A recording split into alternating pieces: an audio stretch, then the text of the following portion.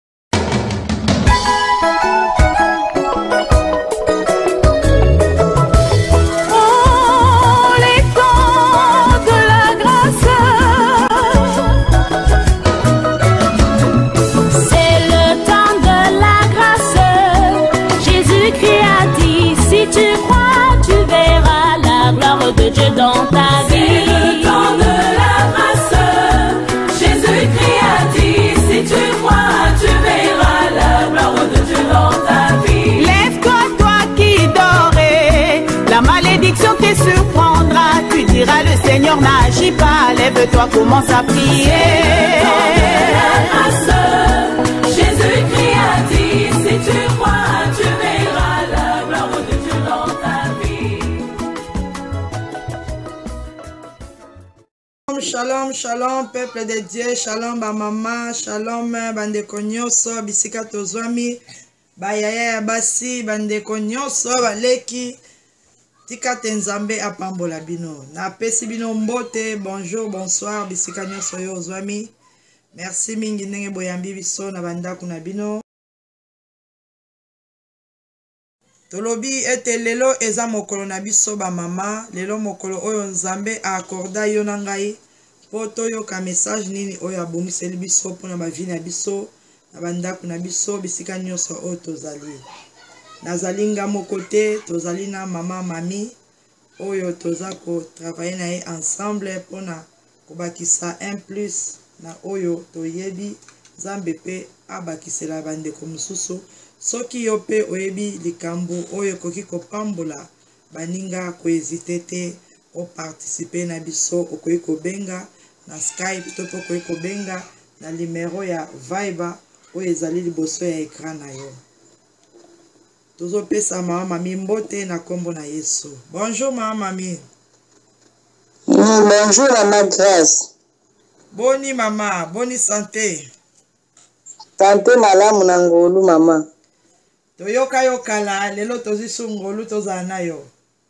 amen ah, ok pesa bana nzambe mbote bandeko bayaya bamama oyo bazolanda biso partout na 3 fois w na ntango na biso ya le temps de la grâce opesa bango mm, napesi bamama nyonso mbote bandeko nyonso mbote bolanda biso tika ete nzambe apambola bino eza ngai mama mitemo merci beaucoup okay, Lelo toza kolobela toza na sujet na biso la fois passé tolobelaki likambo ya ba porte ba porte d'entrée oyo tofongolaka na bandako na biso na bavie na biso oyo diable aprofitaka akotaka mpo asala biso mabe tomekaki pona mwa quelque porte d'entree oyo esungaki biso ba mama basepelaki mingi babengaki ba se retrouver ba sepeli ete to continuer lisusu message oyo yango wana lelo nzambe asali biso ngolu toza kolobela likambo ya ya malédiction no brise tozoyekola lelo likambo ya malédiction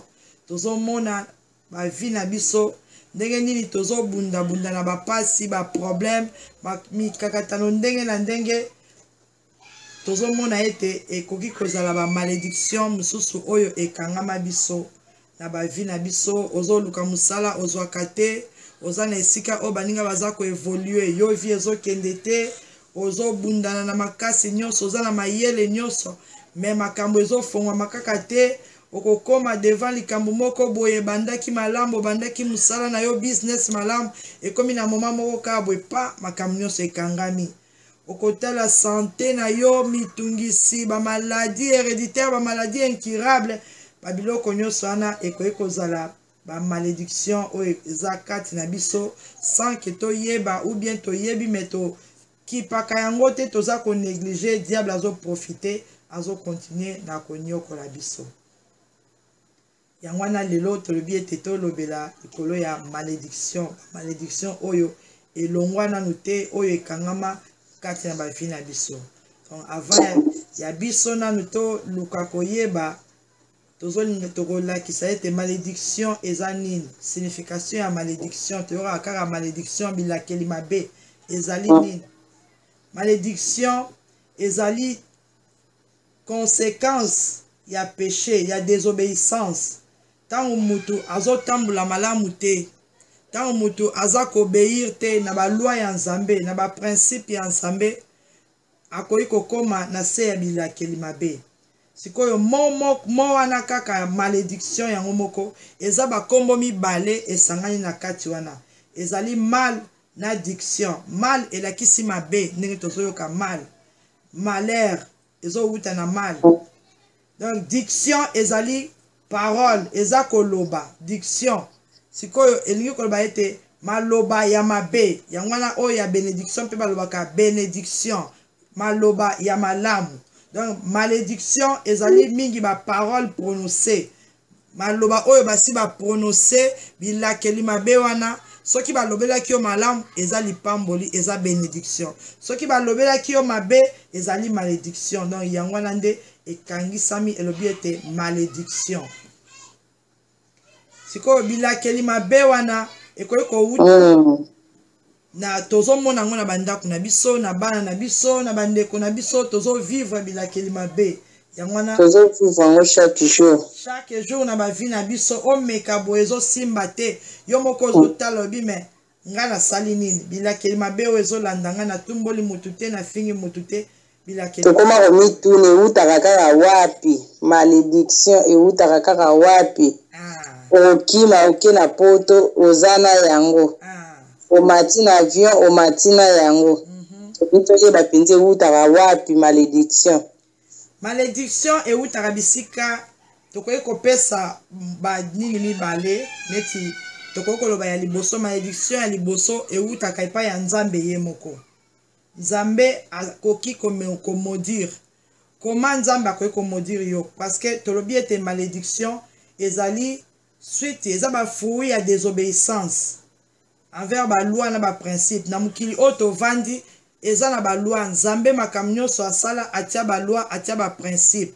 Donc atia mibeko na ye oyo tokoki kotosa, oyo tokoki kosala. Soki yo obuki mibeko wana, ozali libanda ya mibeko wana, eza na bilakeli mabe oyo nzambe ye moko asi aprononsa nzambe ye moko asi aloba na livre ya deuteronome chapitre 28 soki otangi yango na verset 15 okomona maloba wana oyo nzambe asi alobi alobi ete mais si tu n'obéis point à la voix de l'éternel ton dieu si tu n'observes pas et ne mets pas en pratique Tous ces commandements et toutes ces lois que je te prescris aujourd'hui, voici toutes les malédictions qui viendront sur toi et qui seront ton partage. Donc, Nzambe ye moko, na kibo Nzambe na ye, asi atia ba principe, asi apesa biso les dix commandements, asi ayebisa mutu makambo nini okoki kosala, Kosala na oyo okoki kosala te. Eh.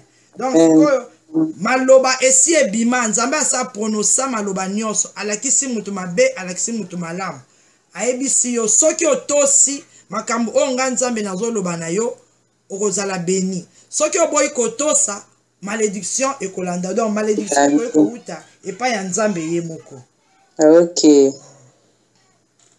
mosusu mpe ekoki kowuta epai ya bato oui malédiction mosusu apart oyo ya nzambe malédiction mosusu apart avant kuta okoma epai ya motu malédiction ekoki kowuta mpe epai ya diable diable mpe eh, malédiction mpe ekoki kowuta epai ya satan donc eza nzambe te moto amodire yo mais eza satan nde moto atelemeli yo amodire yo mais mpo satan amodire yo aprofite satan aza rise ayebi ba principe nyonso ya nzambe ayebi nini nzambe apekisa yo oyo nzambe atinda yo osala sikoyo soki yo obungi otosi oyo ya nzambe te diable akoki kokende koakize yo epai ya, ya nzambe aprofite okay. na erreur wana abandi kosala yo mabe mpo malediction ya, ya nzambe ezalaka mpo e, esala moto mabe te eza lokola mwana asali mabe papa apinir ye petite punition oui eh, apesi yo punition mpo ozwa leçon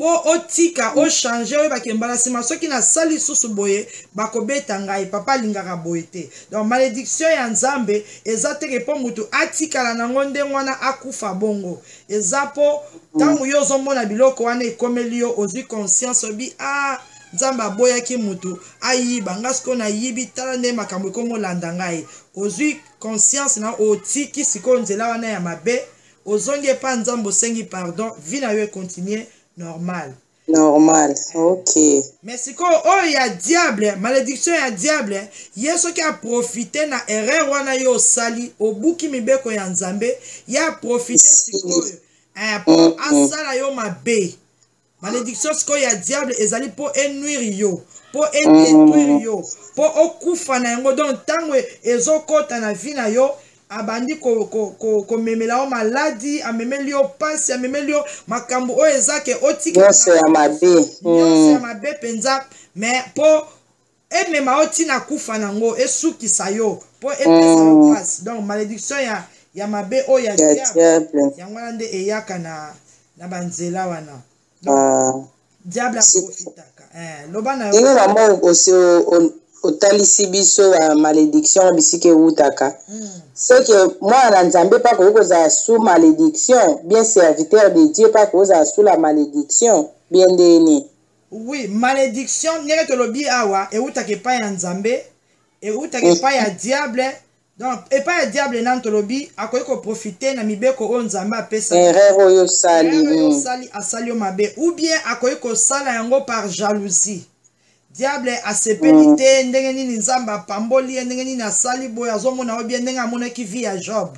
akoki koprofite mm -hmm. eh, job asalaki lisumu te job asalaki na eloko te mais satan ntango amoni nzambe aza kokumisa job satan ayoki zuwa abandi koprofite ti aluka kaka asa donc eza par jalousiedonk ekoya mpe na nzela ya jalousie nzela ya jalousie nde bandoki ba bamonaka tali a ah, mosali ya nzambe oyo mwana ya nzambe oyo aza na kimia na libala na ye aza alaise ye na motema na ayoki bien te esika azali abandi kolakelo mabe akweya ata akufa misala wana mhm. ebeba donc babiloko wana sikoyo soki mwa berere ya moke ezali porte ekoki kofunga puiske toza bato O- toza parfait te tozo vivre na se ya mokili oyo okoki kosala erreur moko ya moke bango baprofite na erreur wana baluki nde nini ale maloba na bango wana ekoti ezwi place na ndako na yo Eh, ekoki koprofite ekoti ezwi yo Ah. me ewuti na yango epai ya nzambe te nzambe te moto na bato ya afrape yo mitema mabe bato ya mitema mabe baprofite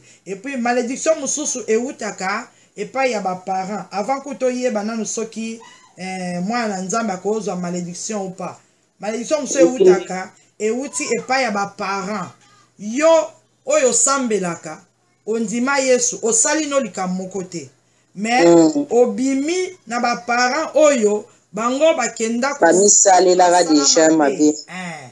bakotaki bake ko babuka deja mibeko ya nzambe mibeko eh, depuis yo avant yo ya avant kutu yo botama bango bake ko bazosala bamagie ba, ba bango ba, bazokumamela bikeko bango bazosambela banzambe mosusu bango ba, ba, donc na famille na bino kisi eleka papa na bino mpo aza na mbongo ifo aza na bamarabu banzela mabe wana yo sikoyo oye kobima na se wana obotami na na linie wana yo obotami bongo me osimbi na yo kisi te okoti na ndako ya nganga te me lokola kaka oza mwana ya papa simon mwana ya papa pierre mwana ya papa jean atambola bisika mabe eh, bilakeli mabe wana ekoki mpe kolanda yo puiske eza na bible nzambe alobi ke na nini akopinir mabe ya baparent jusqu'à la quatrième génération ya solo ozomona ekoki kokita papa na bino nde moto abotolaki mwasi ya moto nzambe apekisi kozwa mwasi ya bato te ya bato te hmm. malediction wana eza likolo na ye ekoki kokita na bageneration hmm. eh. papa na bino akendaki kozwa bakisi aye na bikeko na ndako amemi babiloko ebele ebele malediction wana ekoki kokitela bino me yo te motu osali yango epai ya nzambe oza na lisumu te me okovivre conséquence ya masumu ya baparent eh, oza na lisumu te nzambe akomona moto ya masumu te mais okovivre conséquence ya péché wana puisque oza mwana ya papa simo oza mwana ya papa pierre bien ke mm. osambelaka bien osambelaka te donc yango wana na question na oyo opose ya mosali na nzambe bia mwana na nzambe oui mosali na nzambe akoki mpe kozala sous malédiction ou bien mwana na nzambe oyo azosambela mais akoki mpe kozala sous malédiction sans mm. ke ye ayeba mais azo vivre malédiction tokoki kopesa neti exemple ya, ya, ya jacob jacob mm. aza mwana ya isaac descendante ya abraham nzambe asa pronosaka lipamboli a partir ya abraham alaki bango alobi ke generation na yo nyonso ekozala beni abotami na libota oyo lipamboli deja esi ezalaki ezalaki jacob na nzela ya erreur oyo ye asalaki mabe oyo ye asalaki achangeaki identité na ye ayibaki benediction ya ya moninga mais jacob nzambe apona ye deja ntango mama ya bango aza na zemi nzambe azoyebisa mama na bango alobi naboyi ezau naponi jacob nzambe moto aponaki ye mais sikoyo jacob azo, abotami akoli bapesi ye nkombo ya jacob omoni esika probleme na ye ezali bapesi ye nkombo ya jacob nkombo wana nde elukelaki ye makambo mais ye aza serviteur de dieu aza mwana ya nzambe Mm, esika mwana jacob, elaka eh, esika jacob azokende nzambe aza na ye jacob azotambola partout nzambe aza na ye mpo asi apona ye okomona Mhm. ntango jacob azokima azokima ezau azokende ndeko na ye epai ya eh, noko na ye epai ya noko na ye Mm. laban na nzela eza na place moko boye na bible bazolakisa biso jacob alalaki na butu azolota na esika wana ye alalaki azolota baange lola efungwami baange bazomata bazokita azomona trone ya nzambe donc azomona bavision epuis nzambe azoloba na ye alobi ete nakobatela yo esika yo okokende ngai nzambe nakozala na yo eh. Jacob akei esika ye akendaki, Nzambe mpe abateli ye. Aprometre ye meme na benediction, na obenir yo. Jacob alamuki, azokumisa kutu, alobi, eh, nayebaki te ke Nzambe azalaka awa. Donc ayebaki kutu te ke Nzambe aza na ye. Mais tala vie ya Jacob sikoyo. Ya souffrance, azokima kutu kokima. Voilà. Mm. Ozomona? Tala vie ya Jacob. Nzambe aza na ye, azomona ba vision.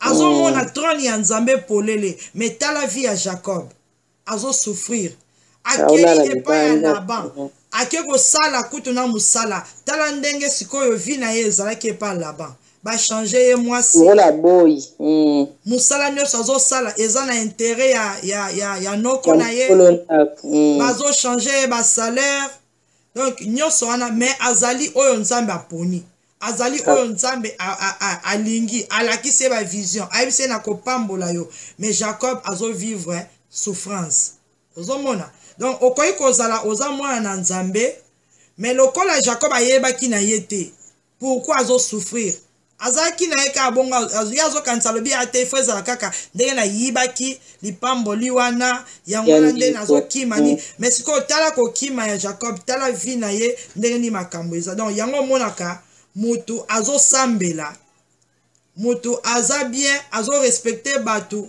azosalela nzambe akoki kozala intercesseur aza protocole aza diacre aza mama pasteur pasteur me ozotala mm. vie ya ndeko oyo soki azobondela onction mpenza ezali aza na barevelation asambelaka mpe mpo na bato bato mpe bazobika me vie na ye moko makambo oyo ye azovivre ozotala yango na makambo ya nzambe ezokende ezo te ezo match kutu te mm.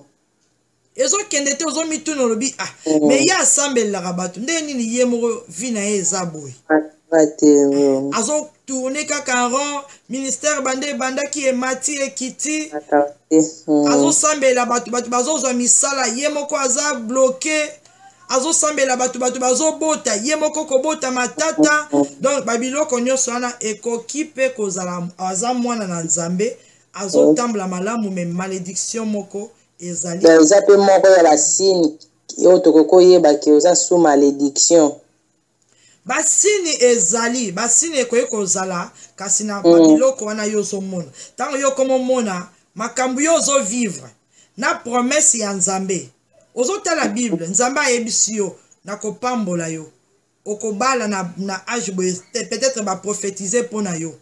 ou bien nzambe ye moko arevele yo makambo nyonso oyo nzambe asi aloba okompare makambo oyo nzambe azoloba na yo na vie oyo ozovivre ozomona ke ezokokana te ozomona basini mosusu nzambe alobi na mboka na ye la femme sterile akozala te mwasi akosopa mm. zemi akozala te yo otambolaka na sanctification mais ozosimba mwana te mm.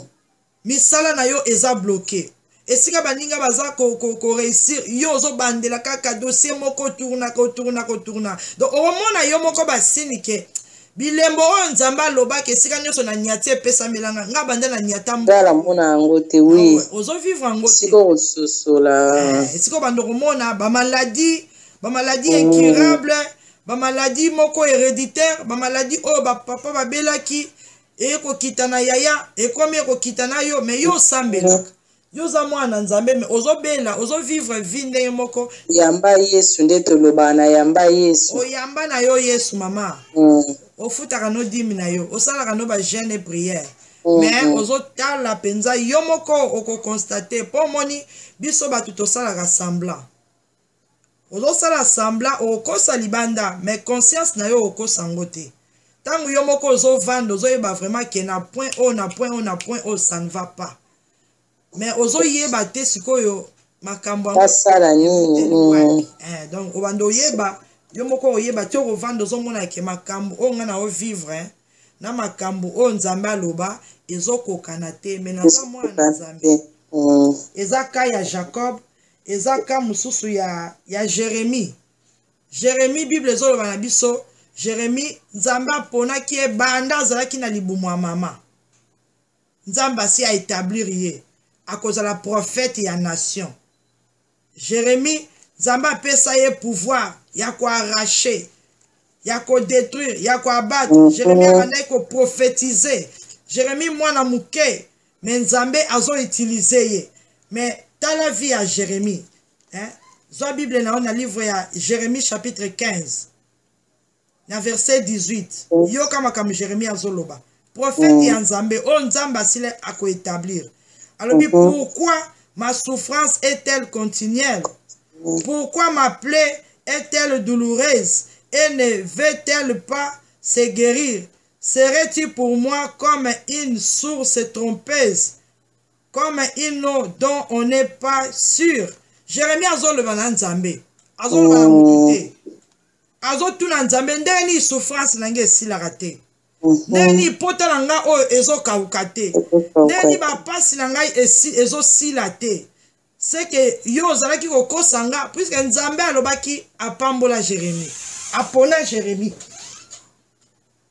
mm. mais jérémie azovivre le contraire jérémie azosouffrir jérémie mm. azolela mais prophète ya nation prophète basi mm. baétablir ye na kati ya libumu jérémie mm. basi bapesa ye pouvoir na maloba na ye jérémie akoki koprononce ko mpe maloba parole ya nguya ekokisami mm. mais jérémie azo souffrir ye moko azo souffrir ah. donc mwana nzambe akoki mpe kosubir malédiction mwana nzambe mpe akoki kosouffrir mwana nzambe mpe mm-hmm. akoki komona makambo mosusu oyo ozondima te ke ekoki kokomela oyo ozotuna olobi souffrance oyo nasali nini estce nzambe akosa mm. ou bien eza ya solo ozo prier ozo arracher ndenge Jérémie mm, arrache mm. ozo détruire ozo tinda moto mais ozo wana lobi yango nzambe azoyoka ngai bi azoyoka ngai te nzambe azoyoka na ye nzambe mm. azomona na ye me lokola yo moko topesa ka ka oyo ya, ya ka ya jacob ezalaki nini malediction na ye ezalaki connecte na nkombo na ye ozomona kai aza mwana na nzambe nzambe apambola ye nzambe apona ye mais malédiction na ye ezalaki attaché na nzela ya nkombo na ye nkombo okay. nkombo wana kaka bapesaki ye ya jacob wana elukilaki ye makambo peut-être mm. nkombo mm. na yo oyo yo mema wana mama nde yango wana source ya malédiction no ya malédiction na yo bapesa yo nkombo ya motu moko azalaka moteya mabe soki ndenge nini nkombo wana elanda yo luka mpe oyeba nkombo jacob apesaki ye nkombo wana elakisi moyibi usurpateur sikoyo nzambe atya malediction likolo ya bamiyibi koyiba eloko ya motu te sikoyo yo baba bengo moyibi ah. ntango lipamboli ezokita satana azoloba yo ozopambola moyibi a ah, moyibi yo opambola ye ndenge nini ah.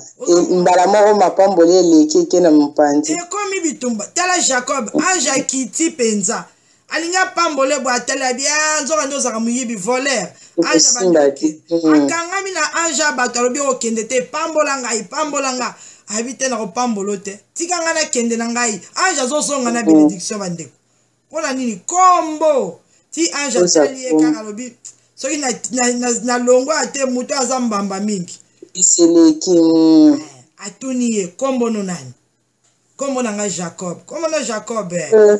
a partir ya lelo nkombo wana elongwe okomi israel ah. nde esika lipamboli ekotaki ekokita mm. vie ya jacob echange jacob alobi namoni nzambe face à face ame na ngai ebikisami donc ta nyonso wana azomona bavision azotambola nzambe azoloba nde apamboli ye ame ne ezalaki sauve te azali na kimia te azalaki na mm. lipamboli te azalaki sous malédiction puiske azalaki na nkombo wana jacob Hmm. ya kaya empêche déjà mapambo eza ko empêche ekokoma te okozala serviteur de dieu mais oza na nkombo moko topesa o serviteur mampasi ata yo moko ah. yo olingi no makambo ya nzambe sikoyo obotami na papa na bino papa na bino komona ezalaki mampasi ale bino mm-hmm. nyonso boza famille mampasi yo sikoyo okomi mosali ya nzambe bo soki ozososola no yango te omoni yango kaka normal ekombo wana eza kolando te mm, ya solo kombo wana ye oza kolanda yo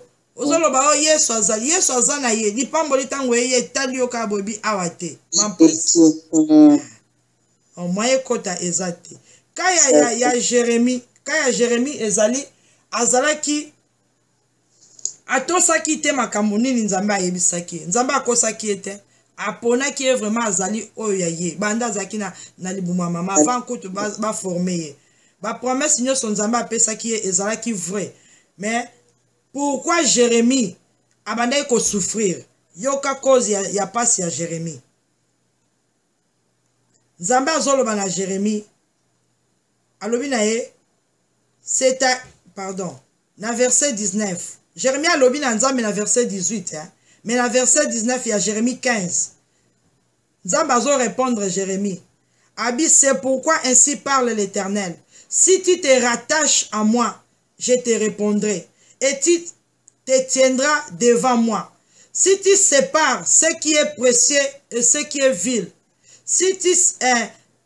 si, tu seras comme ma bouche c'est à eux de revenir à toi mais ce n'est pas à toi de retourner vers eux ozoyoka ngambo ya jérémie mpo ya nini souffrance na ye mpasi ezoleka na vie ya jérémie mpo na nini jérémie nzambe asi ayebisaki ye makambo akosala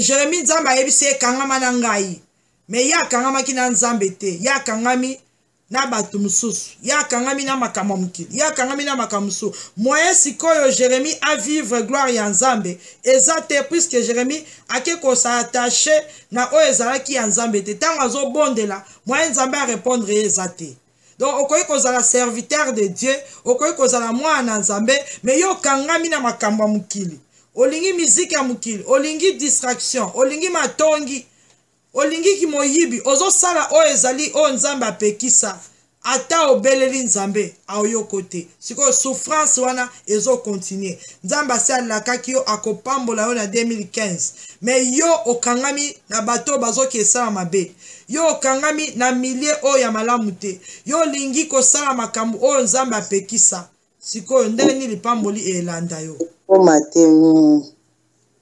Obanda olelaka baninga bazo avancer yo ozolela lela kaka. Osambelaka réponse eyaka te. Hmm. Mpo na nini okangami na Nzambe te? Okangami na makambo ya mokili. Okangami na oza na distraction. ozo mene vie moko oyo ekokani na oyo nzambe aloba na yo te oza prophète oza mwana na nzambe oyebi mibeko ya nzambe me yo ozokangama na makambo ya mokili ata obondeli réponse eya ndenge nini aloba nde osouffrir mm. nzambe oh. atia mabe na malamu azoyebisa jérémie alobi na ye soki okaboli oyo eza ya malamu na ya mabe ti sera comme ma bouche ozoyoka soki okaboli mabe na malamu oyebi ke oyo eza mabe na osala te oyo eza malamu na sali oyebi kosepare yango kaka na vi na yo malediction ekota ndenge nini monoko na yo moko ntango ozoprofetize mpo na nzoto na yo ekokisami mais jérémie ye abandaki kosangisa mabe na malamu mpo na ye eza te eza te nyonso eza malamu tozomona yango na bana na nzambe ozomene vi nini dimanche oke na eglise samedi oza na fete obini ndombolo dimanche mm. oye oyembi alleluya kaka na monoko na yo moko wana sikoyo olingi nzambe vraiment autilize lisusu monoko na yo oprofetize mpe bana no babikisama mm. esalama te nzambe na yo longwa na milie wana baninga wana bazomemaka yo na, na milangwa na kimoyibi na makambo mabe yo kozonga su na milie wana te kokendaka su baclub te kokendaka susu na, na nini esika oyo baninga bazoke koconsulte banganga te donc longwa na milie wana okozala na famille wana me na famille na bino yo oso ondimeli nzambe bango likambo moke kaka toke etalisa epa ta mfumu toke koluka papa kengandi papa wana azalaka makasi sikoyo yo ozokotaka oza kaka na milie wana baosala makambo mm, mabe mm, mm. oyo eza volonté ya nzambe te yebisa eh. lipamboli ya nzambe ekozala ndenge nini Somo, jeremie abandaki kozonga epai ya bato oyo nzambe azotinda ye kende oyebisa bango basala mabe olie bato wana balanda ye ye azokende kozonga na kaa na bango malediction mm. ekangamaki ye jeremie abandaki mm. kosouffrir po heure eh, moko mpe mama ezalaka omona tozomituna ah mai oyo oh, mpasi oyo nazolekisa mm. eza kaka brisement bi eza malediction eza kaka ba preuve bien eza donc toyebaka mpena te kodifferencie hmm. eh, malédiction na ba preuve omoni mpo ya rival mpo ezolekisa ba periode moko ya mpasi ezaka nzambe aolekisa na ba preuve siko différence wana mpe tokoyeba nde nike oyo ba preuve oyo eza malédiction oui okoyeba différence ya malédiction na ba épreuve mm. soki obandi kotala vie na yo na makambo nzambe aloba okoyeba oyo- Ah, okoki yeah, ndenge koyeba. olobaki, ah, Okoki ok. koyeba oyo eza malediction epuis okoki koyeba oyo eza bapreuve différence nano liboso ya epreuve na malediction epreuve ezali nzambe ye moko moto aolekisa yo mpona azolekisa yo ok po peut-être ataye yo apeso forme moko eza lokola mwana oyo atangi na fin de l'année asali examen apasse maître akoyeba abi a ah, enseignement na ngai napesaki ye apasse test oyo donc acomprendre message yango esungi ye mhm. nzambe alekisaka bana na ye na baepreuve Alexis azotante yo te mais apase yo na épreuve moko et puis différence ya malédiction na épreuve eza malédiction ekoki koya de génération en génération mpasi wana mpasi wana mpasi wana mais épreuve mm. ezalaka na temps eza na temps moko ah, esuki kaka na yo moko ah, epuis eza na temps moko eza te ke ekangama yo ndenge wana banda obanda classe osufraka kaka osilisi mm. classe na pasi oluka mosala ya pasi oya olongo na afrike oye na, na, na, na poto ozosufri kaka wana epreuve nini yango wana esilaka te mm, ya solo pasi wana ebanda mama na bino abeli maladi ti akufi nango ale yo mpo bandi na maladi wana lisusu e pasi nini wana epreuve wana eza epreuve te epreuve ya nzambe ekoki koya heure mosusu nzambe apermettre ke mwana no moko azwa malade me nzambe aza na contrôle ntango yo ozomona likambo wana okangami su na nzambe obandi kobondela a ah, nzambe mpo ani makambo oyo mpo ani situation oyo nzambe azotala sikoyo disposition na yo estce okokangama na ye ou bien okoabandone okende koluka banda kotalisa oluka baprofete osala boye nini ozoleka na epreuve epreuve wana ntango yo omatisi bapriere omatisi kondima na yo nzambe akosala au nom de jésus mwana na ngai akobika okangami na nzambe na moma wana okopase mwa tano mwa kaka mopepe wana mpe eleki obandi otemoigne sikoyo ah nazalaki na batama oyo difficile vraiment na souffrir na mboka oyo me nakota bachaine bapriere na luka nzambe tala lelo oyo okomi amimonisi obandi koexhorte mpe baninga na epreuve wana nzambe alekisaki yo otalisi monene ya nzambe sikoyo oglorifie nkombo na nzambe na situation wana wana eza malediction te donc yo moko oh. okoki komona soki omoni situation wana Ewumeli esilaka te banda ekangama yo obondela olela ojena osala nioso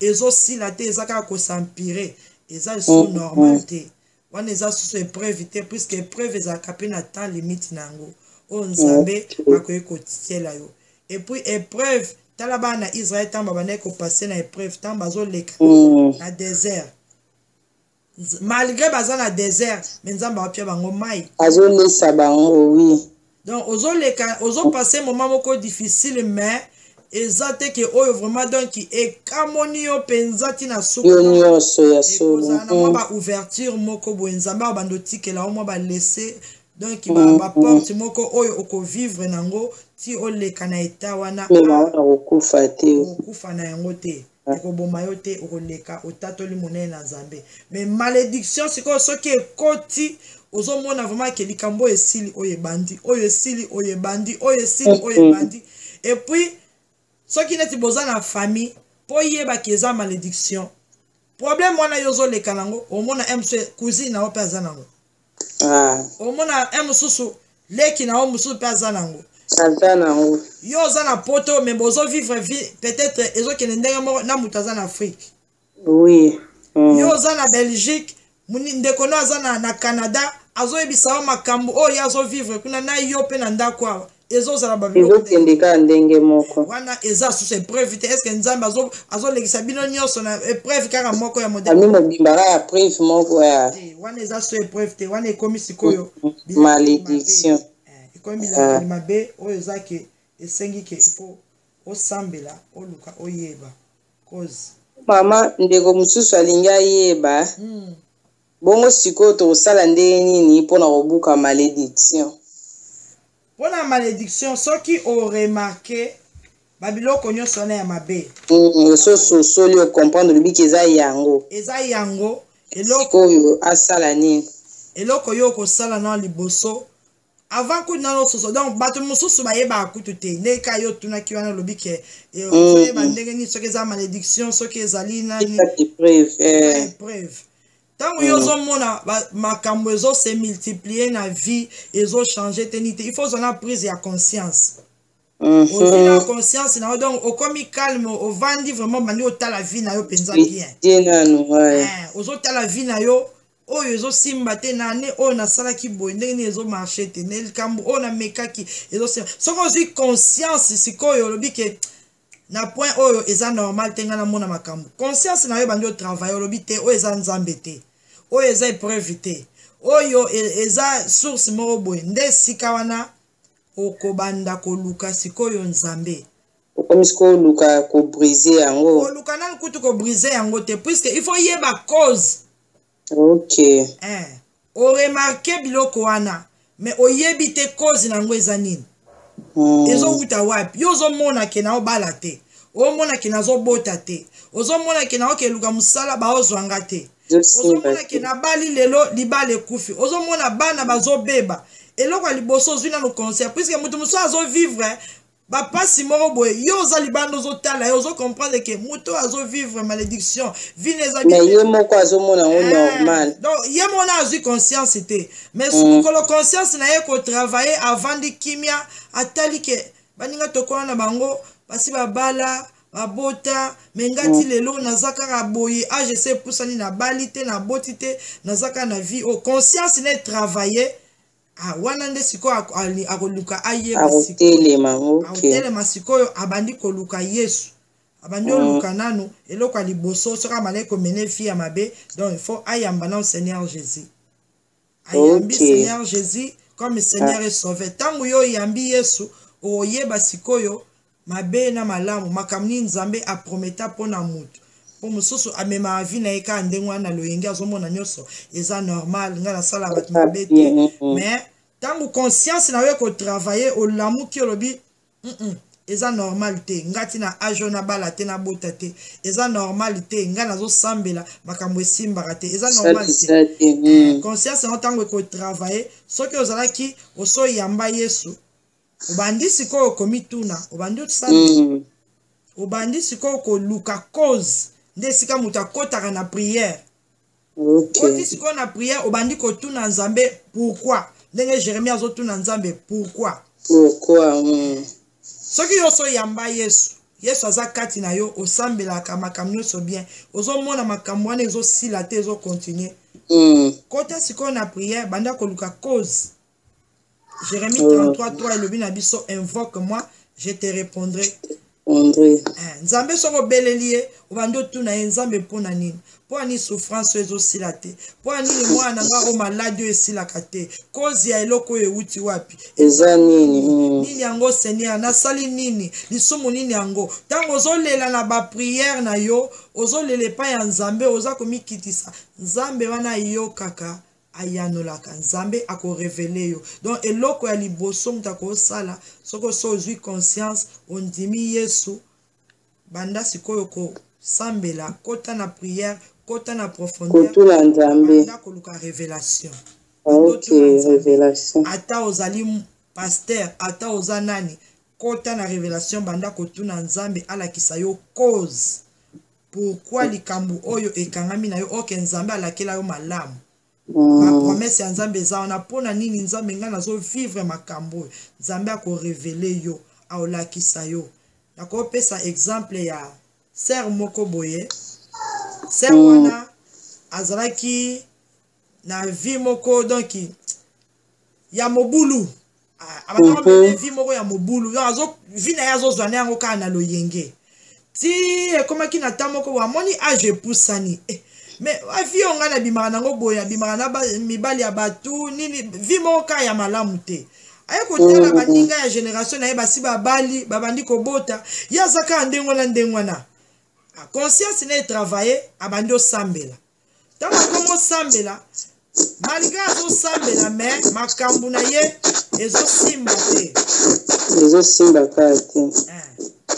malgre azosambela makambo ezosimba te makambo ezofungama te alobi eh, me ngai nabandaki komene vi ya loyenge nazosala badesordre natiki nakomi osambela makambo na ngai kaka ezochange te vi na ngai eza kaka bongo echec na echec changement eza te ti abandi kokɔta sikoyo na profondeur abandi osambela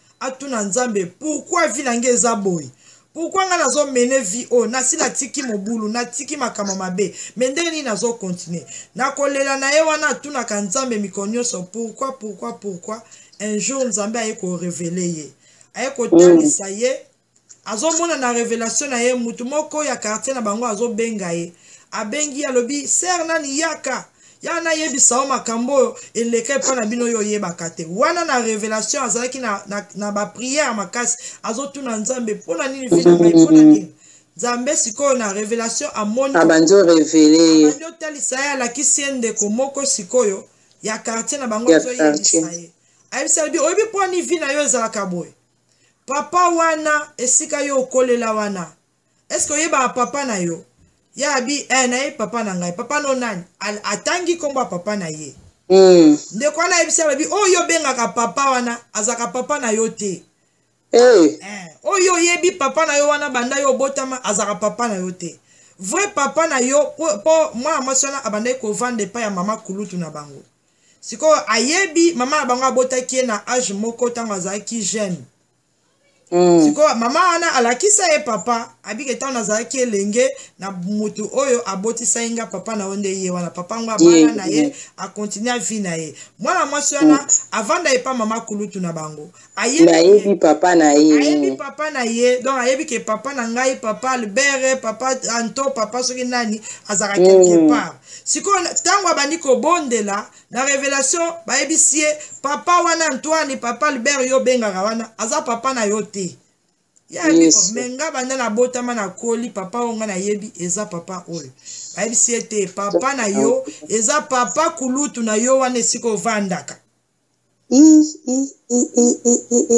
ozo comprendre eza papa kulutu na yo eh, ezala papa kulutu ndenge nini alobi mama na bino ntango yaya na ye abalaki ayaki na leki na ye wana na revelation nzambe azolakisa ye ntango oh, mama na bino abalaki ayaki na leki na ye petite sœur na ye na libala ale oh. papa oyo papa kulutu wana abotaki na mama na bino ntango azalaki jeune fille na ndako wana epai ya yaya na ye na yango mpe batikaka ye kuna fami mobimba eyebaki babomba sekre wana balongolaki kaka leki wana balobi akende akende kokontinue baetude akontinue vie bazwi yo balobi lokola eza ndako ya tata na yo tikala wana yango wana otikala wana epai ya mama kulutu wana yo obengaka mama kulutu papa kulutu wana yo obengaka papa kulutu nde vrai papa na yo ye wana fami mobimba ya mama bayebi likambo wana me babomba secret motu moko te abimisa secret wana me tala nzambe sikoyo aza korevele ye sikoyo cause ya malediction na ye yango wana aza mwana ya inceste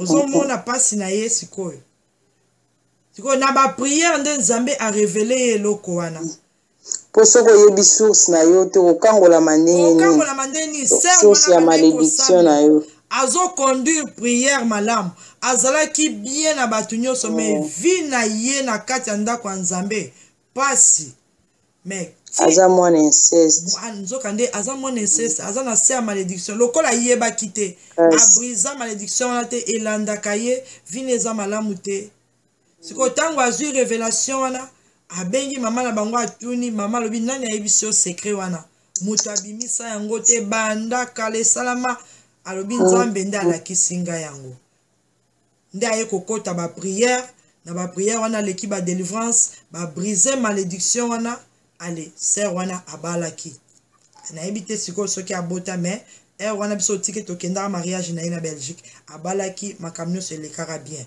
ozomona mpo ayebaki cause te azosouffrir oke oh, likambo mm, moko mm. esalama kala soki baluka elongi ya nzambe te vine mobimba ti alingaka akufa alinga azala ka vi wana ya kobimaka na mibala ya bato ya desordre te atikaki vi wana atikaki te nalobi soki alukaki mpe elongi ya nzambe te eh. azwa conscience te me ndenge nini kaka nga boye mm. alingaka kufa te kaka bongo alingaka souffrir vie na ye mobimba ndenge wana mobimba eh, yango omonaka bavie ya bato mosusu azomene vie moko yo ozokanisa ke mm.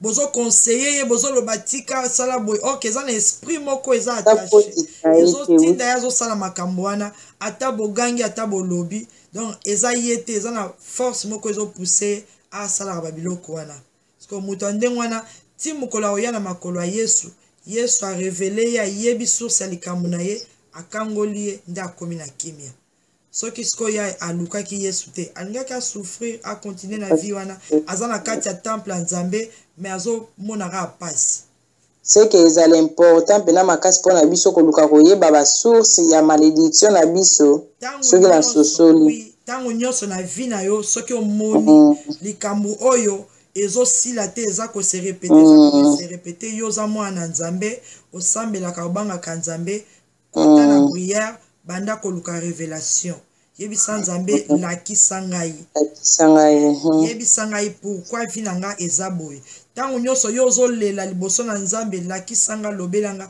nzambe wana akolakisa nga nzambe hmm. akolakisa yo puiske eza na makambo ebele bato bazovivre eza volonté ya nzambe te mais aza se na se ya malédiction ya solo ancien malédiction moyen sikoyo abima ndenge wana eza te il faut azwa révélation babrise malédiction wana acontinue sikoyo vie na ye normal normal nde nzambe alingelaki nzambe alingaki exemple mosusu tokoki kopesa ya sere mosusu azalaki mpe mwana na nzambe amena vi na ye mm. malamu mais vie na ye ezalaki ya mpasi mpenza azangaki meme na esika kovanda Aye, basali ya nzambe bazwi ye akomaki kovanda na permanence Mhm. ntango azovanda na- tala moto azovanda na permanence aosala mabe aza na ye na vie moko vraiment ya malamu mama Mm, heure nyonso ba prière Mama nyonso aza na vie ya prière Mm, mama pasteur na bango apesaki ye confiance amoni aza ma- mwana mo malamu apesaki ye business ayebisi ya lobi lokola ngai nazalaka okipe makambo ebele yo oza na likambo osala te apesaki ye business moko asala mais ezalaki ya compte ya mama pasteur ye mm. azoteka babiloko wana kovoyage asomba biloko atekaka mais ezalaki business ya mama pasteur mpo apesa ye mwa occupation moko eh, esunga ye esunga ye ser mm. wana abandaki kosala mosala ne kitoko malamu soki ateki akopesa mbongo akosala nyonso mokolo mosusu asali business wana ateka mpenza mbongo ebele donki asepeli ye moko nanu asimba mbongo ya ndenge wana te business nanu esimba ya modele wana te mm. aye sikoyo na pokwa aye kopesa rapport epai ya mama pasteur ayebisi mama pasteur alobi ah, lelo mpenza toteki bien mbongo vraiment ebele nini donc atekaki mpenza mbongo vraiment esimbaki bazalaki okipe abi bon garde mbongo wana lobi na ntongo tokosala bakonte toyeba nini yo simba yango kaka bapesa ye confiance bayebi aza mwana malamu mm. ser wana garde saki ya mbongo ntongo etani babengi ye bon yaka kasi pesa rapport lobi tozalaki okipe na bapaya bazalaki awa pesa kasi rapport ya makambo na yo ndenge azosepela ah, na makambo esimbi Sœur afungoli sac boye abimisa mbongo ata un cas ezalaki te. Mbongo nionso ebungi.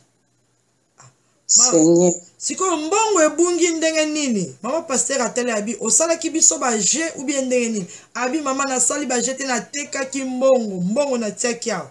baluka mbongo wana na ndako bapanza baluka ndenge nyonso na ndenge bayebelaki ye mpe akoki koyiba te mpo azali na esika ya kokende te akotiango wapiango wapi epuis ye moko nde ayaki koloba ke ateki mbongo aza na mbongo ebele mm. baluki baluki baluki ndenge nyonso mbongo wana emonana te ata wani pi na kati ya saki wana ata inka ezalaki te ser abandi kolela donc azalaki na shok moko elekaki bamoko basali ba, ba, ba ya nzambe bacomprendre babi non tokota priere toyeba pourkui likambo oyo esalami koma mbongo ekoki kobunga kaka boye ozwaki mbongo ebungi kaka boye moyibi akoti na ndako te moyibi akoti te na butu mpenza ye moko na saki na ye azomona mbongo yango ya tie wana ntongo etani mbongo elimwe biloko nyonso na saki eza mbongo kaka eza te ata inka mbongo ezalaki te bakoti priere babandi koprie babandi koprie ti nzambe aye korevele bango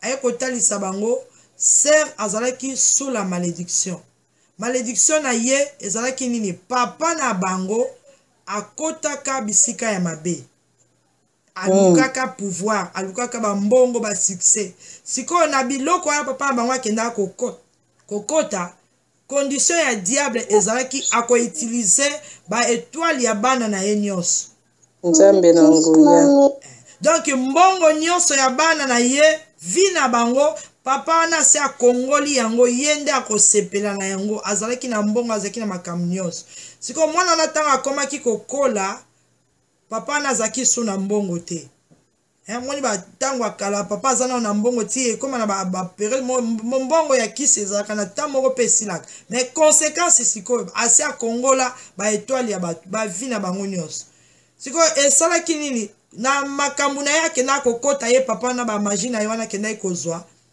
bapesaki ye limite bayebisi ye mpo na kosala sambla bakosimba na bango mbongo me bakoleka limite oyo te donc bana na yo bakozala na mbongo bakosala na bango basimbi peut-être bakatela bango bakoki kokóma na 1000 dollars te diable aza mabe eh. sikoyo ser wana azalaki na ye kaka ndenge wana asimbaka na ye bambongo asalaka na ye lokola sikoyo mokolo wana na maboko na ye monta wana ye atushaki ezalaki adepasse limite wana oyo papa na bango asinyaki makambo wana donc baesprit wana ya contrôle baesprit wana ya famille eye korécupere bamoni yango basiliki oui. balobi abuki mibeko koma ya kosimba puiske limite totyela bango akoki koleka mile te me ye sikoyo na maboko na ye puiske ntango ye azoteka mbongo ezokweya epa na ye na maboko na ye adepasse limite asimbi mbongo ebele ntango baye bazwi nyonso na ndenge ya mystique ekei sikoyo na revelation nde nzambe aye kotalisa bango ke papa na bango akotaki bisika ya mabe atekaki heritage ya bana na ye nyonso diable alimita bango sikoyo lokola ye mbongo elekaki nyonso ekei donc ntango baye kozwa revelation wana nde baye kosambelela ye babrise malédiction wana vie ya sere wana sikoyo echange puiske balongoli ye na se ya bilakeli mabe wana mpo ayebaki na ye te azokontinue na ye ndenge wana normal or ke aza na se ya malédiction aza na piège ya diable tala ndenge diable azomaltraite bavie ya bana na nzambe ozomona donc baexemple eza ebele oyo ekoki kosala ke oyeba makambo nio ntango okokota barevelation okomi osambela okomi otuna nzambe nzambe akolakisa yo bacause bacause eza ebele bacause mosusu ekoki ozala nde nzambe alobi tokoki kokumamela bikeko te tokoki kotia barepresentation ya biloko ya babe te na bandako osambela bachapele otia bastatue osala babiloko boye me sikoyo yo na ndako na yo okotisa biloko wana malediction mpe ekoki kokota yo na vi na yo ozosambelaka bachapele ozokumamelaka bikeko malediction mpe ekoki kokanga yo donc biloko wana soki eza na kati ya ndako na yo ekomemela yo mpe malediction na vie donc il faut totala bavi na biso biloko nini tokotisaka mpe na bandako na biso bilamba oyo tosombaka ya kolata ekozala biloko mosusu eza na bamarke eza na basine satanique yo ozwi yango olati orke eza na sini moko ezoloba mabe na basini wana ezolakisa deja ke oyo aza esclave oyo akoki kobonga te yo sikoyo olati yango identité wana elati yo malédiction mobimba ekokokangama na yo ba œuvre d'art mosusu tosombaka osombi ekeko moko yo otie na ndako peut-être ekeko wana nde yango eza blocage na yo mobimba evandi na kati ya ndako exemple mosusu tokoki kopesa ezala na afrike ezalaki na papa moko abandaki kosambela azalaki na vie ya malamu me sikoyo na ndako na ye abandaki kovivre vie moko mpenza bana maladi kobanga na butu baproblème bazoyeba te likambo oyo ezowuta wapi basambela basambela basambela mwana wana abangaka na bana babangaka na butu koganga bakimi ezalaka te ndako ezalaka trouble mokolo mosusu basali ya nzambe baye na ndako basambeli basambeli basambeli bakei mindondo wana ezokontinue bandoto ya mabe kobanga makambo ndenge na ndenge baye kobondela babi te ifo tobondela toyeba eloko nini ezokoze puiske tosi toprie na kati ya ndako oyo me probleme ezosila te ntango baye kosambela nzambe aye korevele bango eloko nini ezalaki na kati ya ndako wana kalandrie kalandrie ya masanga e ba masanga na biso wana ya, ya, ya, ya afrique masanga oyo ya, ya bololo calendrier ezalaki na kati ya ndako wana yango wana nde ebandaki kokoze malheur na kati ya ndako wana baproblème ezoleka ya mabe a cause kaka ya calendrier wana ezalaki ntango nzambe arevele bango balongoli yango bapasoli yango kimi ekoti na ndako wana bacause eza ebele cause mosusu ekoki kozala na kati ya ndako ndenge bozali bino oh. nyonso bozotambola malamu me moko na bino azoya komema malediction ezalaka contagieuse hein? mm. soki moko na kati na bino azoyeleki na microbe oui ekoki kocontamine moko aza na bilakeli okangami na motu oyo aza na bilakeli mabe okoki mpe kozwa malediction na ye boshere mm, yango eh, ye azotambola na, na, na mikumba na ye yo okangami na ye akende gauche mm. oza na ye asala business bosangani asala boye mais ye mm, ekoki mpe kolanda yo Ya solo. En tout cas. papa papa mosusu tozopesa mwa baexemple ebele mpo bandeko mpe ba- mpo esunga biso esunga mpe bandeko papa mosusu abandaka mpe kosambela makasi na, kif- na afrike papa wana bandaki kosambela na ndako na ye soki butu ekoki bato nyonso na salon prière prière prière basisi bake balali mikolo mhm. nyonso mais pauvrete ezalaki na ndako wana du point ke bakabolaka thomson moko soki combien de parti mpo baliaka mpasi moko ya kosakana te papa alobi me modele oyo biso tosambelaka tobangaka nzambe mpasi oyo ya pauvrete oyo ya boye eh, mm. esilaka te nga mosala ya nzambe ma nazosouffrir mpenza na boye papa wana alela alela ti mokolo mosusu azwi conscience abi te na bando tuna nzambe pauvrete oyo eleki abandi kosambela azotuna nzambe azosambela azotuna nzambe ti mokolo mosusu nzambe ayebisi ye olingi oyeba cause ya pauvrete na yo wana pwani mpasi esilaka te ya mm. na kati ya ndako na ye papa wana azalaki na petite sere na ye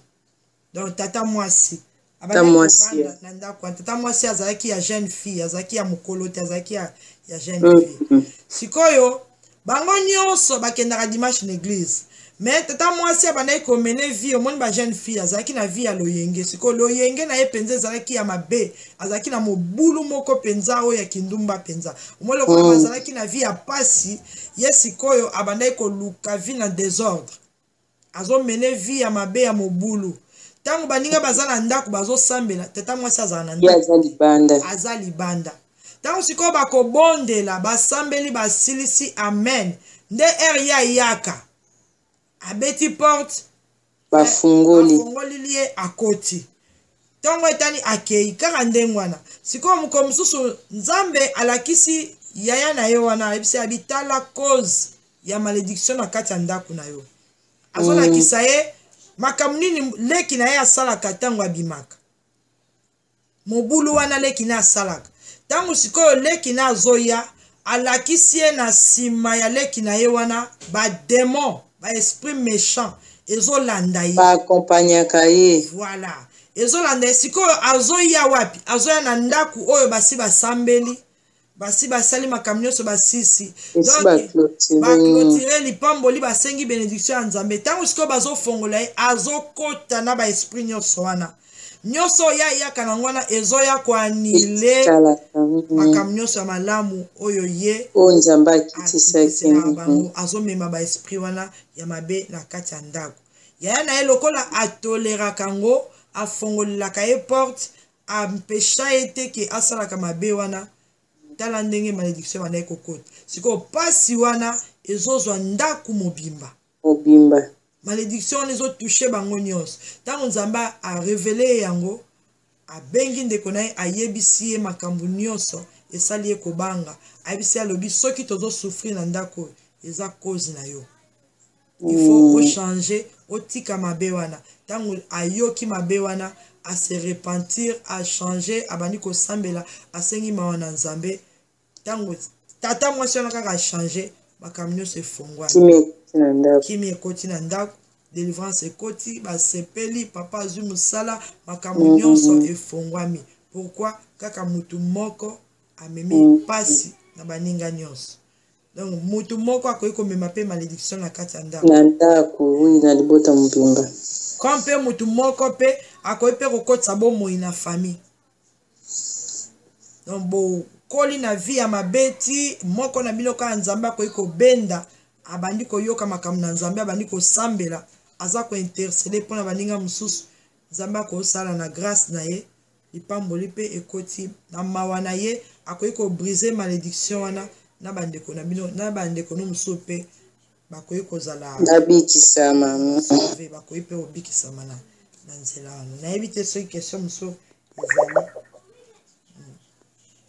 donc il faut to toyebaka ndeni tozomene bavie na biso totalaka na entourage na biso ndenge nini oyo tozovanda makambo nini oyo ezoleka tala ndenge vie ya papa wana ezalaki trouble ezalaki ye te mais ezalaki na nzela ya ndeko na ye pauvrete evandaki na kati ya ndako donc il faut tokontrolaka bavie na biso malamu surtout biso bamama heure moko tokondanaka bapapa ozokondane papa ozokanisa mabe akabelaka ngai te asalaka boye te alingaka ngai te ozokondane mobali na yo peut-être akabelaka yo te azosala mabe or ke malédiction wana eza kati na yo bilakeli mabe wana eza epa na yo ya mosusu basi balakela bino ke yo moto akolinga yo te yo moto akokabela yo te omona mobali aye atiki yo mobali akabelaka yo te me akabelaka bato na balabala bato mosusu libanda ah.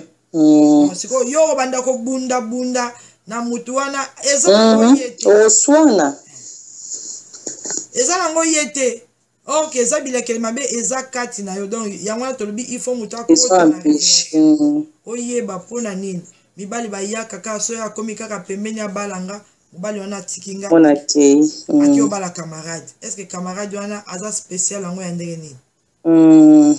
boke oluka mosala baninga nyonso bazwi bango yo kutu peut-être oza na badossier ba baargument oyo biloko ozopesa eleki me bazwi baoyo wana yo baboyi yo mundele wana ayebi yo te nini te aponi baninga mosusu yo batiki yo mm. il faut luka oyeba cause eza nini mpona nini ngai nazalaka rejete mpona nini ngai naza limite na makambo oyo vino mm. eza kaka limite vino eza bloke mikakatano avoleka likambo moko ozotourne ozotourne ozotourne ti na kolelalela mwa ouverture efongwami e mosusu benediktio mpenza yango oyo ekomi pembeni olingi kaka osimba yango boye swa ekei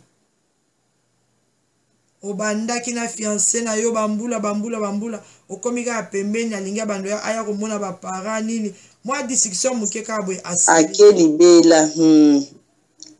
mosusu bobandaki nde na mpasi eh. ntango asimbi kaka mbongo yo lisu te yo lisu te oli yango te sikoyo ozotala kaka motu wana avant nanu oyo atake libanda banda komitala yo moko zonga kati na yo zwa conscience zonga kati na yo banda koluka oyeba mpo na nini mm, moto mm. akimi nga mpo na nini ntango tozali na mpasi tozalaki bien me ntango azwi mbongo ye akei bonga nde mwasi ya mpasi otikali kaka na mpasi mwa yo sepela eza te baexemple eza mwa ebele oyo ekoki ko kosunga bandeko mosusu eza ke oreconnaitre babiloko wana tozoloba yango mpo tozomona batrouble eza mingi tozoloba yango mpo ntango tozosambela toyeba mpe ndenge nini tokoki kobondela epai na nzambe okoki kobanda otinda ozotinda kaka moto nzambe nabuki nasali boye me soki oyebi nanu kozi te ozwi nanu revelation cle te obanda otatone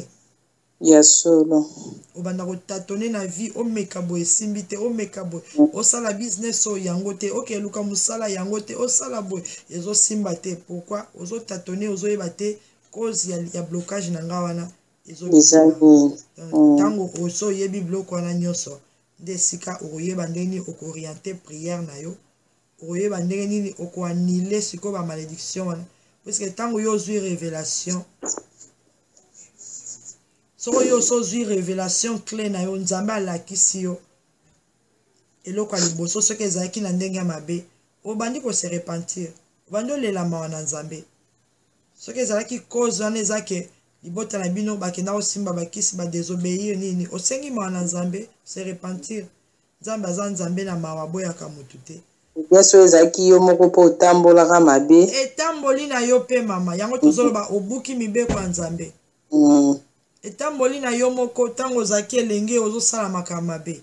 Mm -hmm. Yo obotolaka mibali ya baninga tango ozalaki mm. jeune. Ozwaka mibali oyo ya, ya, ya, ya basi. Mm. Eh.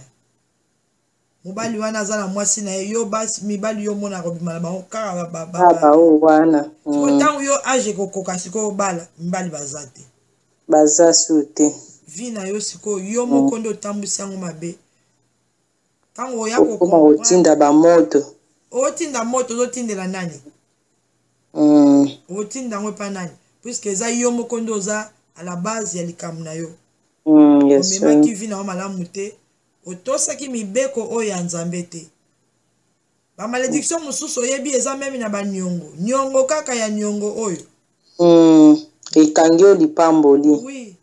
mm. niongo kaka ya niongo oyo bambongo ya bato eza malediction mm. mpenza mm. mpo nzambe apekisa alobi mwana nzambe adefa te adefa te adefisa eh. sikoyo ntango yo oke kodefa Mhm. problème te au défi mais mais futa mama grâce bandeko mosusu omona akotaka ata na bato 5 aye mpa na yo azwi ake kuna azwi eh. aza na ye kuna te hmm.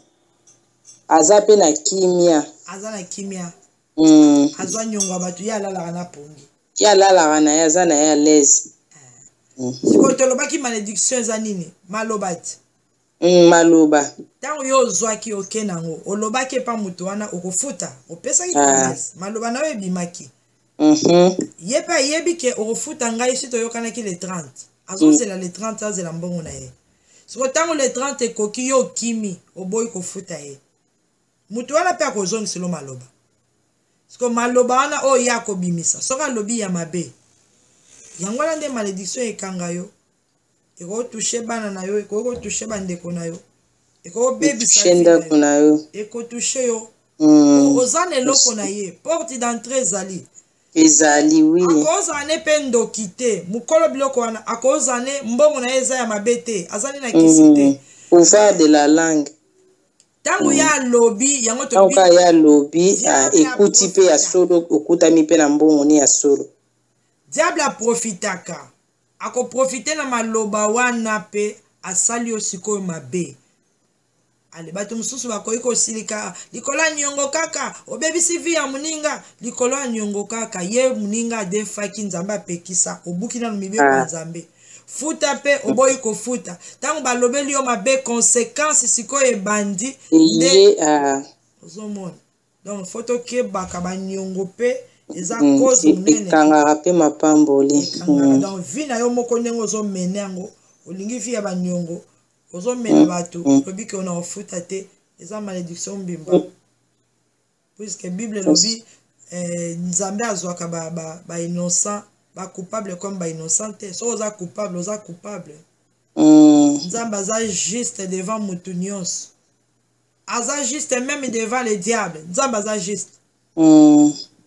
ozomona nzambe aza juste ntango oza coupable nzambe mo adefendre yo ezadefendre nde nini puiske azomona mm. oza coupable yo ozwaki eloko ya motu mm. omoni bandeko mosusu baoyo basambelaka makambo nini lisusu bakomosala adefi eloko ya mama mami tosambelaka mm. esika moko ayebi ke mama mami asambelaka problème eza te ntango mhm. yo obandi kosenga eloko na ye naza ah.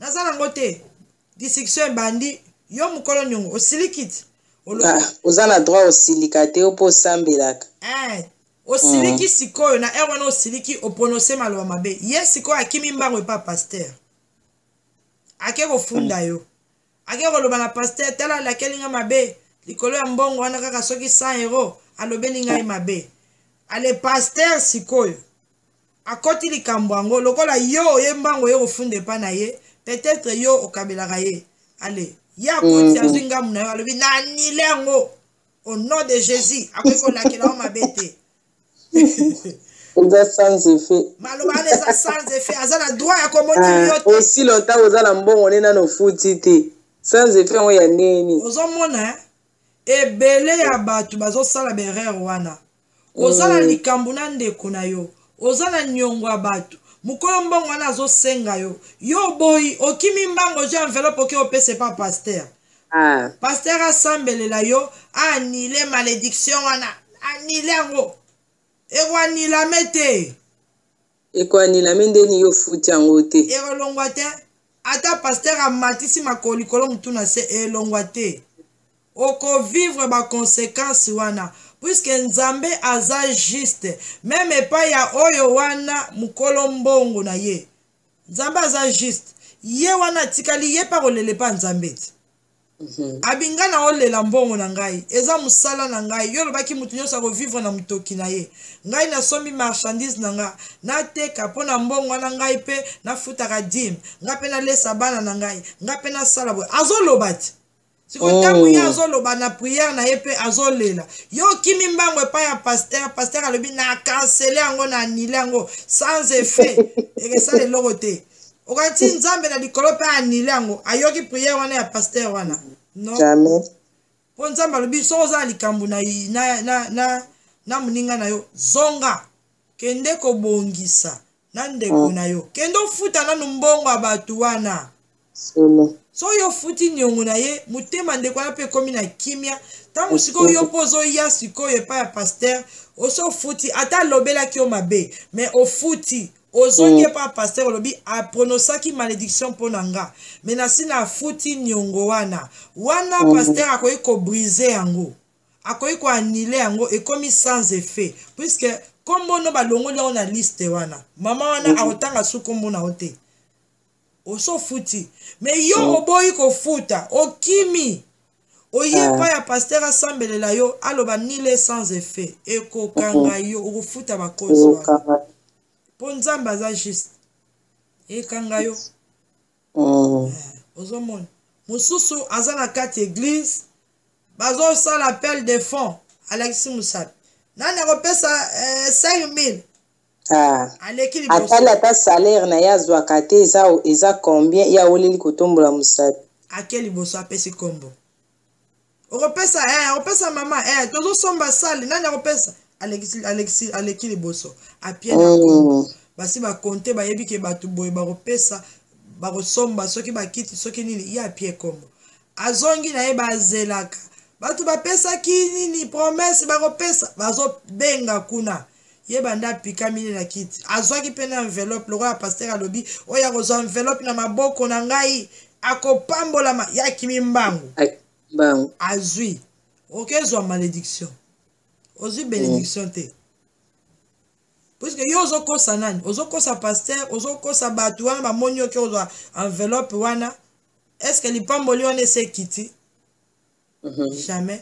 yo okosi nzambe ozwi enveloppe ya bato oke nango obombi ntango bazobenga omelami nazwi na ngai te ngai nakanisaki nakozwa par la foi par la ah. foi nakanisaki nakozwa lokola nazwi te ah, eleka na oka bongo ye paster akoyebaka ezanga eh, ovandi mm. na yo bible elobizoka nzambe azokontelo yango lokola niongo na yo okoti niongo okomi mm. sous malédiction malamu kutu oleka na yo te ovandi mm. na yo soki ozwi okei olobi bosalaki appel nabimaki te mpo nazalaki na ngai na yango te mai sikoyo nzambe apamboli nga naye opesa eza malamu ke motu oyo abimaki avant omona paster ya bato abimisi mapamboli nyonso ntango azopea enveloppe okobonga okosala boye boye ya boye ozwi eza te okovivre condamnation amen tokeba na makambo ebele mokili oyo ezotambola na balwa na baprincipe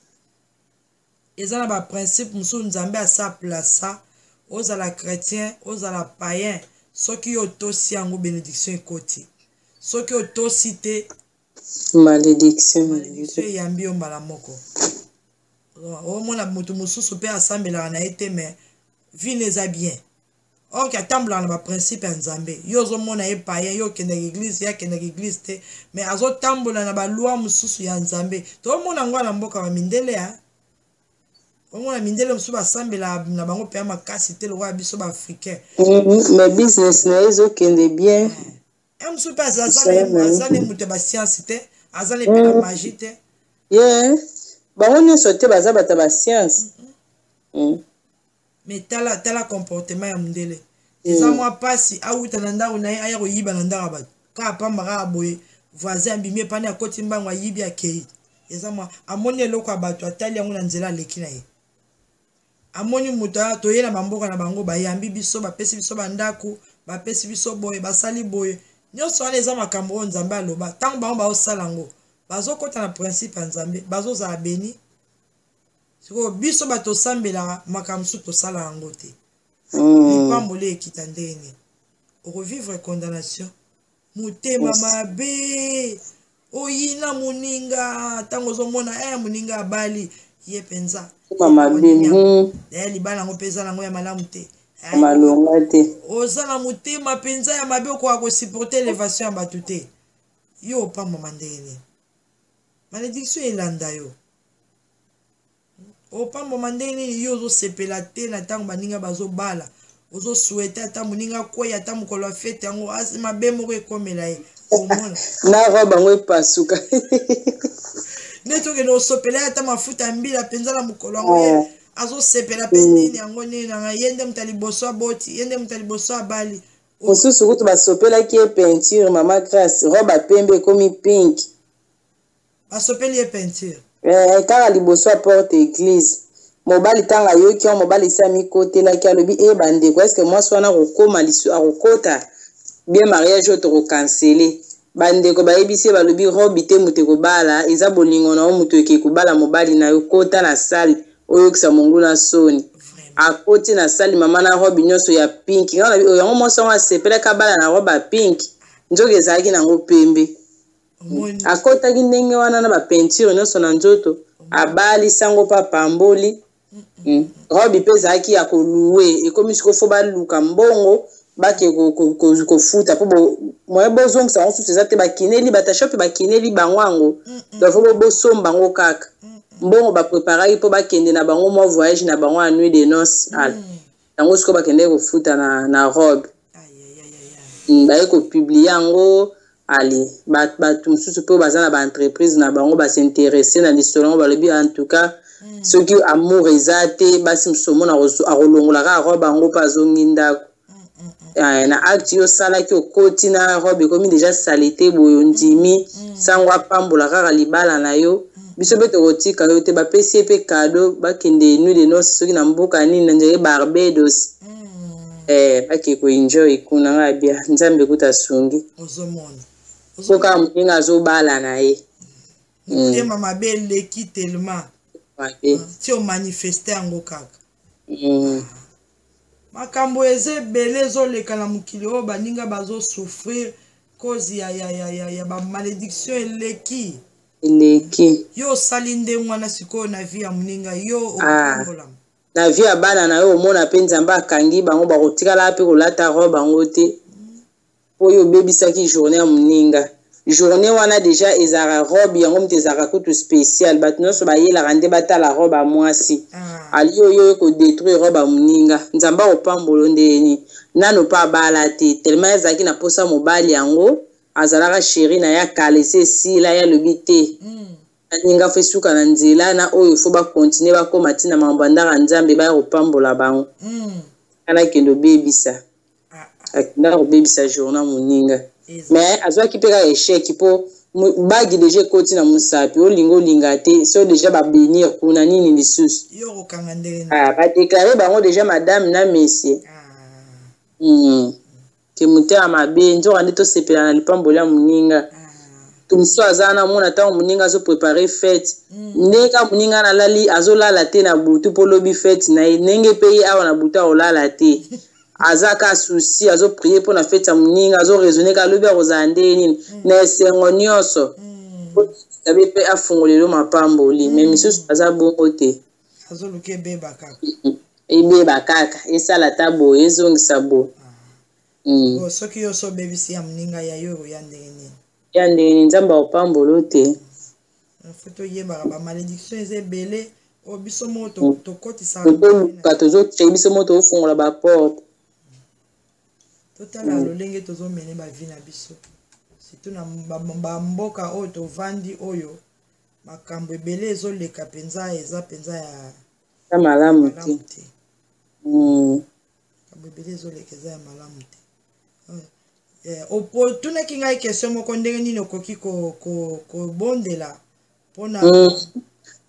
ndenge si oke na sosoli boye na boye sikoyo ndenge nini nakoki kobondela oui prière ya liboso okosala ya repentance puisque ntango yo oko ozwa revelation a partir ya, ya revelation na yo wana nde okoyeba cause ya likambo mm. na yo osengi mawa na nzambe soki ezalaki yo moko moto ozalaki ya la base obukaki mibeko ya nzambe osengi mawa na nzambe soki mm. eza ke eza nango yo te neti ya eza baparent eh, oleli mpe kaka mawa na nzambe mpo mm. eloko wana ekotaki deja nzambe na bolingo na ye aza nzambe ya mawa na repentance na yo ntango ozolela obeleli makila na yesu eye koanile mabe wana nyonso efase yango odeklare makambo maloba sikoyo ya malamu na vie na yo epuis il faut obrise na bapriere na yo ntango ozosala priere ya liboso ezali priere ya repentance mm. ntango yo ose repentir epai na nzambe obeleli le sang de jésus ebandi koanile malédiction wana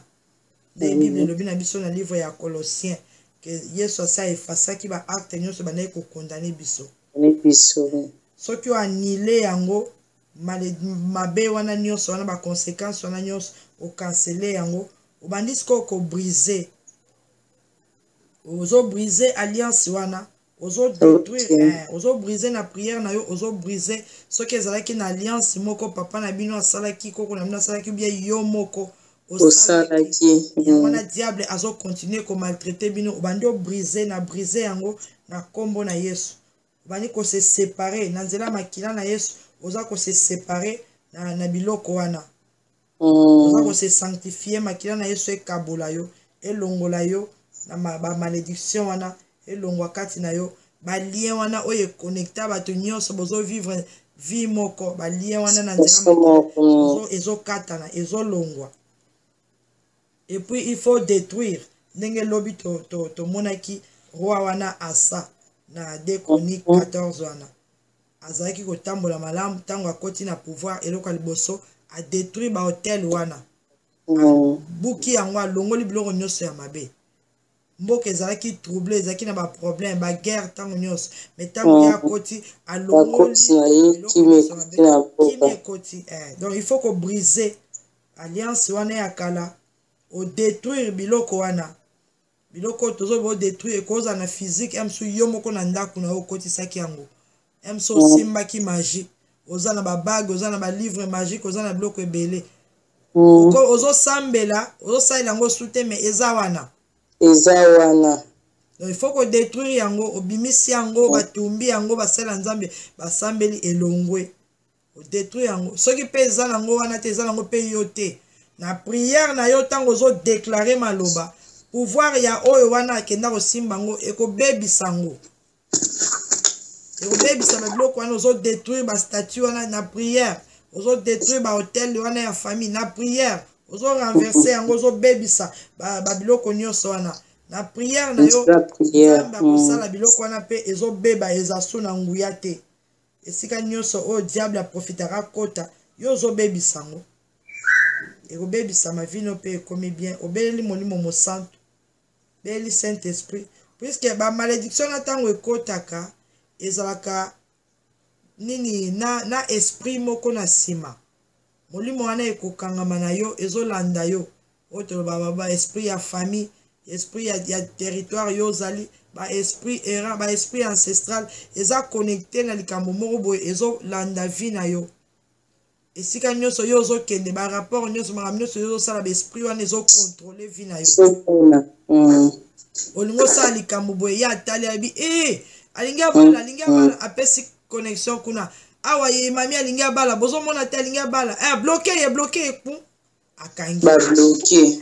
mais sikoyo ntango yo brise babiloko wana pouvoir na bango détruire yango obeleli saint esprit puisque aza esprit supérieur akodomine likolo na bango saint esprit akomi kati na yo saint esprit azodomine na kati ya ndako baza su na nguya te ya koya batindaka baesprit wana eyaka kolandela yo eyaka kobloke yo eyaka kobebisa yo parce que okomi connecte maintenant na trone ya nzambe saint esprit ememi gloire ya nzambe kati na yo akotransforme vie na yo wana nde omonaka ke vie ya moto abandaki kosambela efongwami azwi guérison misala efongwami sante echange makambo nyonso echange ndako ezongi ya esengo kimia ekoti ndenge totangaki to ya roi wana lobi ntango adetruire nyonso repo ekoti na ndako na yo na ndako mpe ya mboka donc conseil biso tokoloba kaka ke mene vi na yo malamu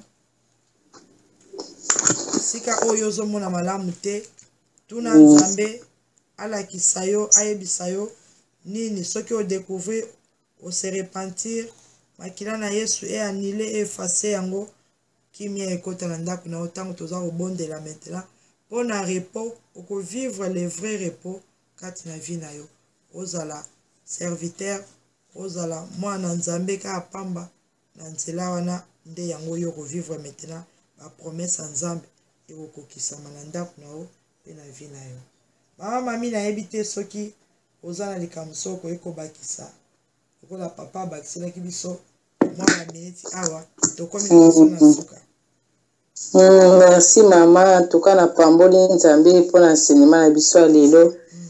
napesi merci na bandeko nyonso balandi biso antuka toza beni mm. mm, yango kaka eloko mosusu ya kobakisa ezali te mama ah. mm. napesi mpe mbote na bandeko bamama na biso ya londres baolanda biso bamama tottenham hmm. nzambe mm. apambola bango napesi mpe mbote na sheri na ngai papa sami mm. nzambe apambola ye napesi mpe bana na ngai mbote amen amen na bango mpenza ya ebele tozopesa mpenza merci na bandeko nyonso oyo bazolanda biso partout esika yo oza en tout cas nzambe apambola bino baoyo bazosala mpe basigne de vie eza na bandeko oyo bazobenga baencourage eza malamu ezalaka mpe bien oyoka mpe bandeko bazobenga yo bayebisa ah, mama grace tolandaka yo toyokaki boye boye donc esalaka mpe bien ezoa koencourage biso tocontinue mpe na mosala yango toyebi ke eh, bandeko mpe bazolanda nakopesi mhm. mama mama regine mama regime aza mama moko oyo akangama na priere ya planète ibere alobi azomona loboko na nzambe na ndenge ya moke te donc mama regime na birmingham nzambe apambola yo na papa famille mobimba esika bino boza alandaka planète ibere alandaka émission ya temps de la grâce nzambe mpenza apambola yo mama nelly na belgique na, na vervier mama patricia na suisse mama clarisse na france mama fifi na belgique mama emilie na belgique bamama mama, bamama baza ebele bakombo mosusu ekimi ngai bamama bolimbisa ngai soki nabosani na, na nkombo me baza vraiment ebele oyo bazolanda ba biso Nzambe akanisela bino ya mingi na oyo ya moke biso mpe toyebi, yango wana tozolakisa. Soki yo mpe oyebi mpe likambo mosusu, yebisa biso, benga biso, loba ete eza mpe na basije mosusu oyo bokoki mpe kolobela. Ah, mama mosusu azali mama, mama reve na France, bamama Belgique na mama ya bamama France, bino mpenza hmm, Nzambe amona bino. donc nzambe akanisela bino partout bozolanda biso na canada na etats-unis bandeko mosusu ya etats-unis babengaki biso nzambe apambola bino nayebi nkombo te nzambe mpenza akanisela bino abakisa ya ebele afongolela biso nyonso banzela biso nyonso tozala babongabonga tozwa barepo na nzoto tozwa barepo amene tozwa barepo na esprit biso mapamboli ekita ya mvrak topambolama tozwa mpenza kimia mama mosusu alobi abi mama grace ngai naosambela nzambe apesa ngai mpe makasi wana nzambe mm. akopesa mpo nzambe mposa na ye alingi toforme arme ya bana na nzambe oyo bakotelema na priere a augmente force apesa biso Amen. makasi totelema na priere toluka barevelation komanke te semaine prochaine tozokota biso nyonso na bozindo toyeba toluka revelation lokola toyebi likambo ya malediction oyo motu na motu esika yo ozali zala determine ozokota olobi lokola nasi nazwi conscience fo naluka revelation ya vie na nga nayeba cause oyo mobali na nga akabelaka nga te nayeba pourquoi mwana na ngai azobela nayeba likambo nini oyo ezo ampeshe ngai nasimba mokanda nini ezopekisa ngai nasimba mwana nini ezopekisa ngai na bala nini ezopekisa business na ngai ya avance nini ezopekisa ministère na ngai eya monene biso nyonso tozokɔta na bozindo na présence ya nzambe en tout cas nzambe apambola bino makambo eza ebele ntango na biso eza limite nzambe akanisela bino bisika nyonso boza wana tokutani lisusu lundi na 6 heures du matin mpo na prière matinale na biso epuis na 12 heures juste mpo na bamama vacance esi ebandi 12 heures juste toza lisusu na prière baheure ya londres